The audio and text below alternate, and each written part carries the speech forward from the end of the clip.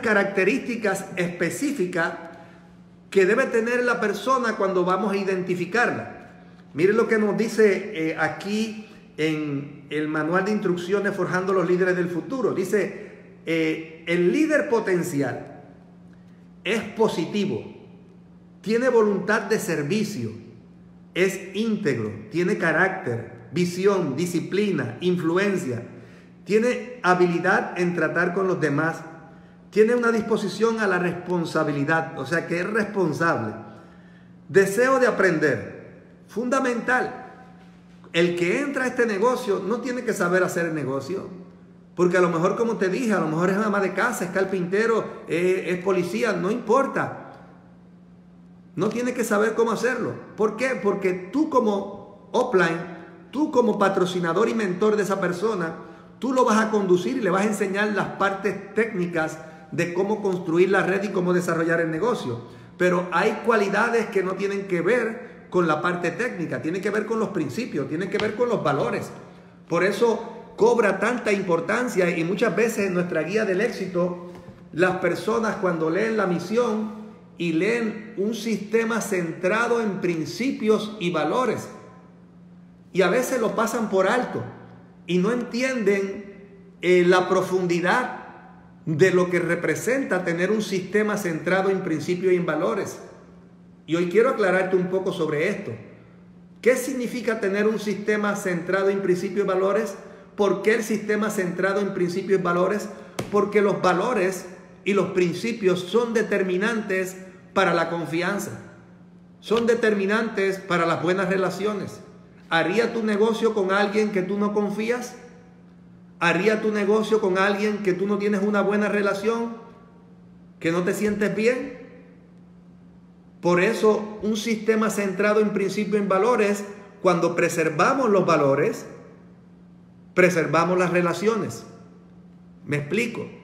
Tenemos seis valores dentro del sistema que le damos mayor fuerza, claro, aunque hay muchos valores como la justicia, el respeto, la humildad, la honestidad, pero tenemos unos valores que nosotros enfocamos como es el valor de la integridad. Porque en alguien que no es íntegro, tú no confías y por ende la relación se debilita. Alguien que no te trata de igual a igual, que es otro principio, el principio de la igualdad. Si esa persona no te trata de igual a igual, entonces la relación se fortalece o se debilita. La relación se debilita. Si alguien te trata sin valor, entonces la relación se debilita. Pero si esa persona te valora como persona, entonces la relación se fortalece. Por eso el sistema centrado en principios y en valores es determinante para un negocio de mediano y largo plazo. Porque esos principios y esos valores, como es el valor del amor, como es el valor de la gratitud, son principios que van unificando, que van creando la cohesión de esa gran familia que el día de hoy se llama Social Economic Networker. Si esos principios y valores eh, son quebrantados, entonces se debilita la relación y por ende se hace más difícil caminar juntos. Lo que ha preservado este equipo a través de dos décadas, independientemente de la ideología política, independientemente de la religión, independientemente del color de tu piel, de tu nacionalidad, tu idioma, lo que nos ha hecho que nos unifiquemos como una sola entidad. Son estos principios y valores, es la visión y es la misión en la cual creamos, creemos como equipo. Por ende, eso no está ahí por tener un eslogan bonito o una palabra decorativa que, que se sienta bonita, no, tiene una razón, que cuando un ser humano preserva los principios y los valores, puede hacer negocio con personas para toda una vida. Por eso este servidor ha mantenido una relación con las personas que están en el proyecto para toda una vida, no para crear un negocio para un año, seis meses, dos años. Hay muchos multiniveles que crean grupos, crecen muy rápido, han llegado hasta los mil millones de puntos y más, pero desaparecen también muy rápido porque tenían un grupo, no tenían un vínculo fuerte de fidelidad, de lealtad, de principios y valores que sosteniera a través de las tormentas, a través de los tiempos difíciles, a través de los retos que nos enfrenta la vida, que sosteniera el equipo. Lo que ha sostenido Social Economic Network creciendo por dos décadas, no hemos tenido un crecimiento explosivo, pero hemos tenido un crecimiento sostenido. Dicen los expertos en la industria de la red de mercadeo que lo que hace que estos negocios sean para 60, 70, 80, 100 años, son los crecimientos sostenidos porque Él da tiempo para desarrollar líderes, para duplicar líderes. Y eso es lo que estamos hablando el día de hoy.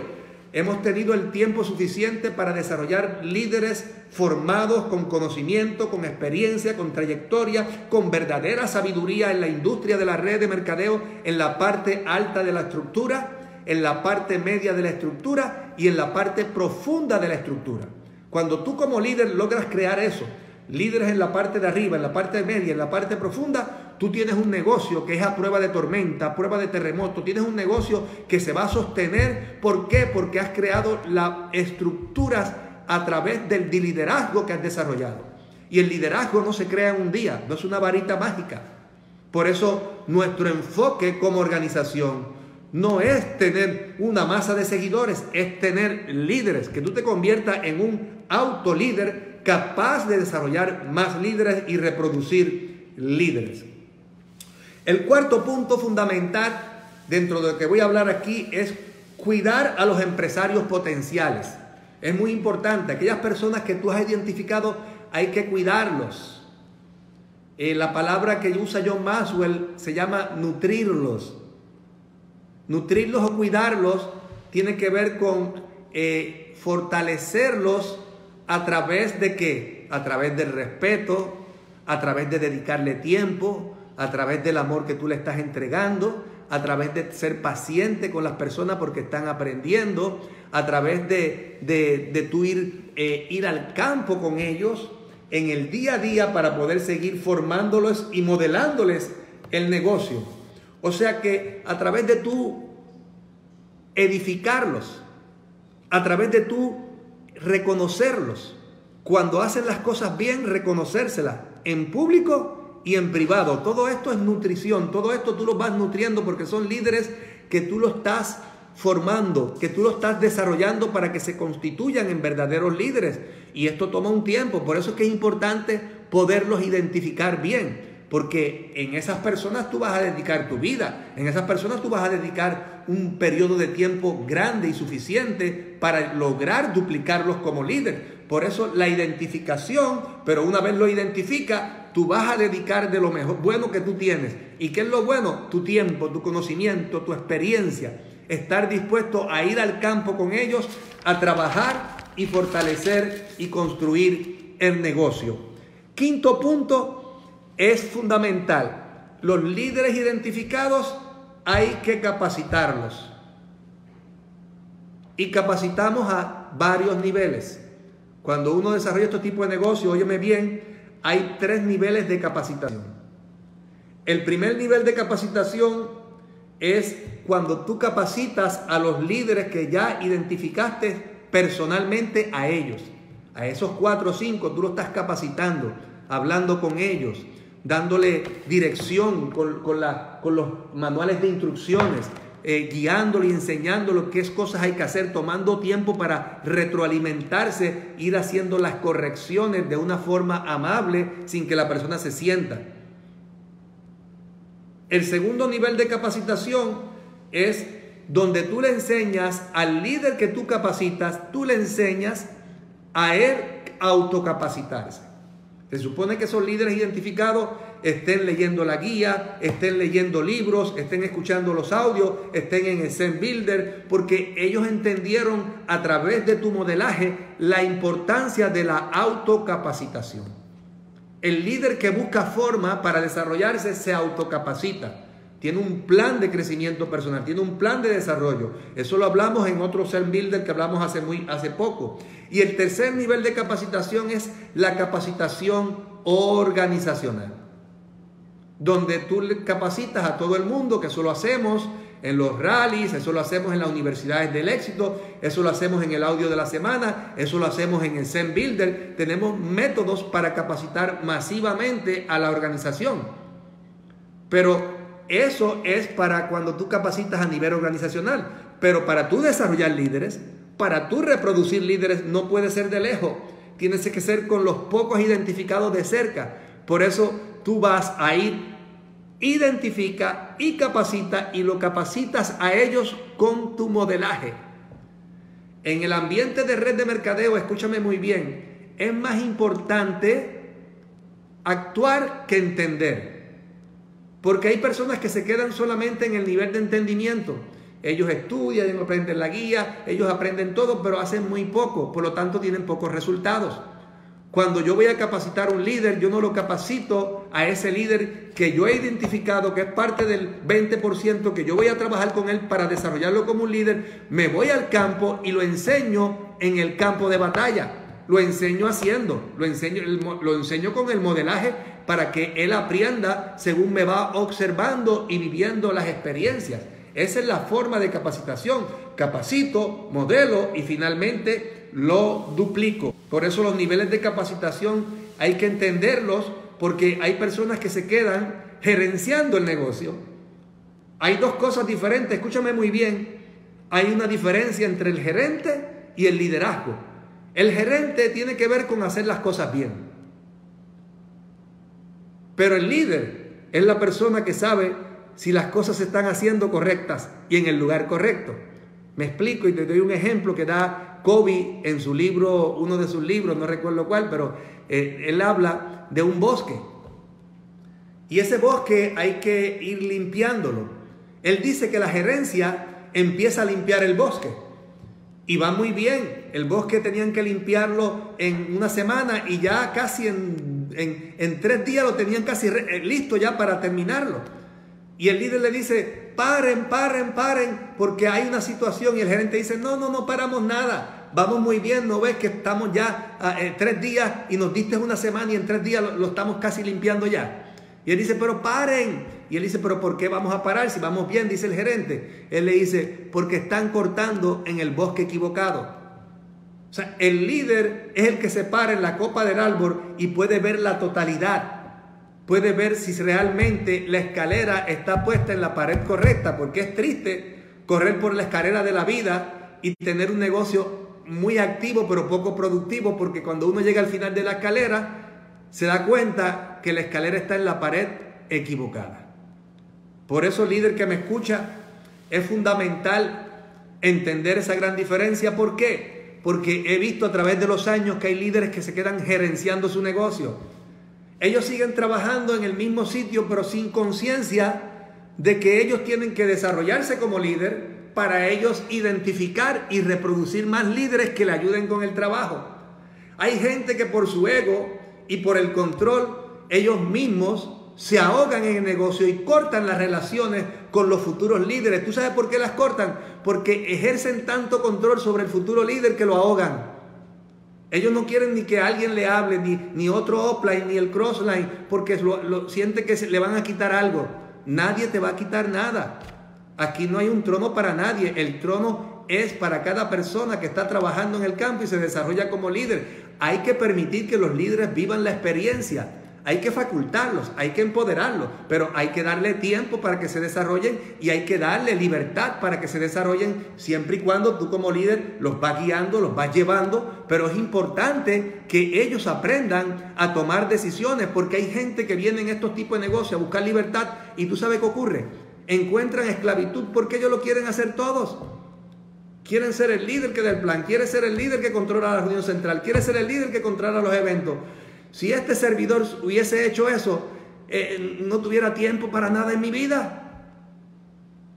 ¿Por qué hoy en día esto va creciendo y sigue creciendo más allá de mi fuerza? Porque se han reproducido muchos líderes que saben lo que tienen que hacer. Escúchame bien, reproduce líderes, libera a los líderes, porque es fundamental. Si tú no los liberas y los tienes todo el tiempo bajo eh, eh, como papá gallina o mamá gallina, entonces los líderes nunca van a ser autolíderes.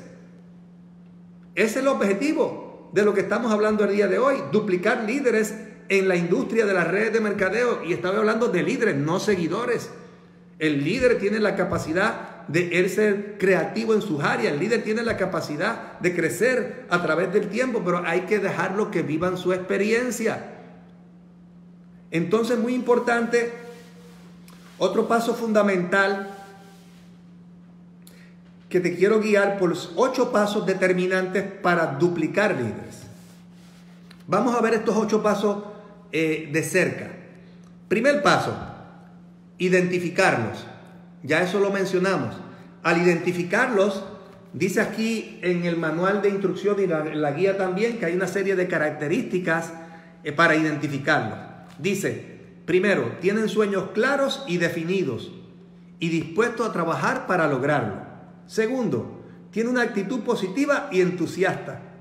Tercero, presenta diariamente la oportunidad de negocio. Si es un líder empresarial en redes, ¿cómo se construye la red? Presentando el negocio, presentando el plan. Pues entonces supone que si yo he identificado correctamente el líder con el cual yo desarrollé, él está en la calle presentando el negocio todos los días, porque la acción más importante que hace crecer el negocio, que hace crecer tu negocio, ¿tú sabes cuál es? La acción más importante es dar el plan. Porque si no presentas el plan, ¿cómo va a entrar gente al negocio? Hay gente que da seminarios, que da talleres, pero no presentan el plan. Entonces son gerentes, son seminaristas, son coach, pero no son networkers. Hay una diferencia entre un coach y un networker. El coach da una información para motivar porque se ha aprendido un guion, pero el networker es el resultado de la experiencia de campo. El networker es aquella persona que fue al bosque, regresó y te dice cómo llegar al bosque. O sea, cruzó el puente y te dice cómo cruzar el puente porque él lo hizo. Si tú quieres llegar a un lugar que aspiras a llegar, pues entonces tienes que dejarte guiar por personas que han llegado, han regresado para decirte cómo llegar. Esa es la verdadera mentoría, en eso que se basa el verdadero negocio de red de mercadeo. Entonces es importante que presenta el plan y asiste a las reuniones centrales. Esto es un punto determinante. Si yo he identificado 3, 4, 5 personas y le estoy dedicando mi vida y mi tiempo, una persona que no asiste a la reunión central difícilmente logra crear permanencia. ¿Por qué? Porque la gente tiene vidas ocupadas. La reunión central es el lugar donde nosotros nos juntamos. ¿Para qué? Para retroalimentarnos, para presentar el negocio por segunda vez a la persona que le presentamos el uno a uno o que le presentamos el negocio en la casa, moverlo siempre a la reunión central para juntarnos. Al juntarnos formamos relaciones, al juntarnos nos ganamos la confianza, al juntarnos podemos establecer agenda de trabajo, al juntarnos vamos creando fidelidad, lealtad, vamos creando mayor compromiso. Por eso la reunión central no es un decir. Hay gente que a veces se, ahora está haciendo últimamente reuniones centrales por Zoom. Y no es que yo no use el Zoom, no es que los líderes no usen el Zoom, el Zoom es una herramienta. Pero la herramienta tiene que estar a disposición del liderazgo, no el liderazgo a disposición de la herramienta. Son dos cosas diferentes. Hay personas que usan la herramienta pero no desarrollan el liderazgo. El liderazgo se desarrolla leyendo los libros, escuchando los audios, estando en la reunión central, estando en el seminario, estando en las convenciones, eh, están escuchando el audio de la semana, ahí practicando esos principios en la calle. Ahí se desarrolla el liderazgo, ahí se duplican líderes empresariales en redes. ¿Por qué? Porque una cosa es tener un fan y tener una presentación, unir a un montón de gente en una presentación eh, por, este, por medios virtuales, una presentación, estoy hablando de oportunidad de negocio, pero no los puedes atender porque son muchos. Este tipo de herramienta es efectiva para capacitar, es efectiva para dar un uno a uno con una persona que tú has prospectado a larga distancia, es efectiva para presentar un negocio a alguien que tú afiliaste en otro país a larga distancia y él te tiene cinco personas en la sala de la casa, pero tú puedes personalizarlo, puedes hablar con ellos, preguntarle qué fue lo más que te llamó la atención, tú puedes crear un vínculo, una relación con ellos porque tienes cuatro o cinco personas que puedes personalizar. Pero si tú tienes 50, 100 personas presentando la oportunidad de negocio en un Zoom, pues tienes un montón de gente suelta. A lo mejor tú te sientes contento porque tiene mucha gente que ha entrado ahí, pero es un club de socios y 4, 5, 7 invitados o 10 invitados, 50 invitados, pero se pierden porque si no hay una relación, no hay un vínculo, no hay una forma de guiarlos, pues entonces el margen de error es muy alto. Recuérdate que en estos negocios lo determinante no es si funciona, no es si, si, si funciona para alguien. Lo más importante en este negocio es que sea duplicable, porque puede funcionar para alguien. Yo he visto líderes que tienen inclusive ahora mismo hay líderes que están creciendo muy rápido y logrando posiciones muy rápidas. pero tienen cinco o seis empleados trabajando para ellos. O sea, eso no es duplicable. ¿Por qué? ¿Cuántos de ustedes tienen para pagarle a cinco empleados que atiendan teléfono, que atiendan eh, los medios sociales, que atiendan el internet? Eso no es duplicable. Para esa persona le funciona. ¿Por qué le funciona? Si él funciona porque tiene eh, tal vez la economía para poder pagar cuatro o cinco empleados que le atiendan eso. Pero para una persona común y corriente que entran con ellos, no es duplicable porque no todo el mundo tiene para hacer lo mismo. Por ende, lo que funciona es lo que se duplica. Y los principios que hemos creado en Social Economic Network son principios de duplicación. Para que un carpintero, un ama de casa, un policía, un bombero, si estudió o no estudió, si sabe leer, si no sabe leer, tenga la misma opción en igualdad de condiciones y pueda desarrollar un negocio de red de mercadeo sólido, estable, productivo y duradero. O sea, todo lo que está en el sistema no está ahí por estar. Son principios que son eternos. Nosotros evolucionamos y nos adaptamos a los cambios y a la tecnología y nos hemos reinventado. Pero dentro de ese reinvento, los básicos y los fundamentos no cambian.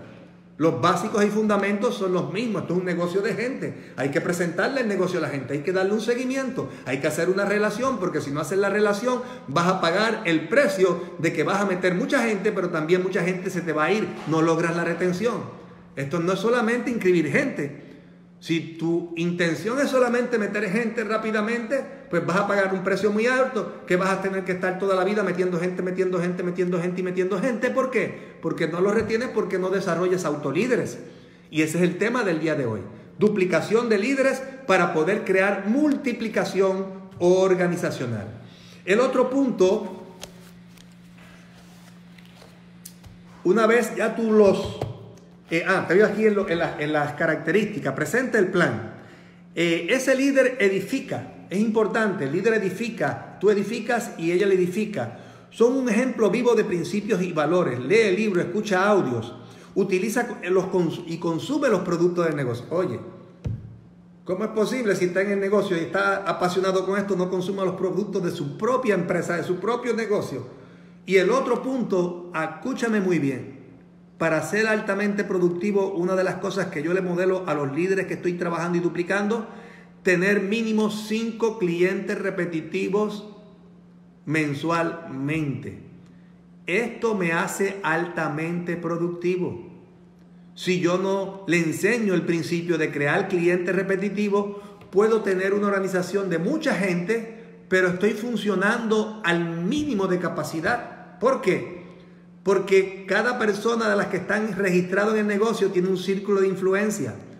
Un grupo de personas, amigos, familiares, vecinos, compañeros de trabajo, que tal vez no le interese este negocio. Pero sí le pueden interesar nuestros productos. El energy, el batido, los aceites esenciales, el agua. Hacemos que esa persona sea un buen consumidor de los productos y si tenemos una organización que crea cinco clientes repetitivos cada uno, oye, en una organización de 100 personas ya no son 100 personas, son 100 personas más 5 clientes. 100 personas por 5 clientes son 500 clientes, más las 100 personas son 600 personas. ¿Qué tú prefieres? ¿Una organización de 100 personas o una organización de 600 personas? Yo prefiero la de 600. Esa es una organización que va a producir tal vez el doble, el triple o cuatro veces el volumen pero lo creo cuando creo la cultura y le modelo y le enseño y duplico en los líderes que estoy identificando y trabajando en el campo, le estoy enseñando a crear clientes repetitivos. Mantente conectado, suscríbete a nuestro canal de YouTube y marca la campanita para que puedas recibir notificaciones de nosotros continuamente.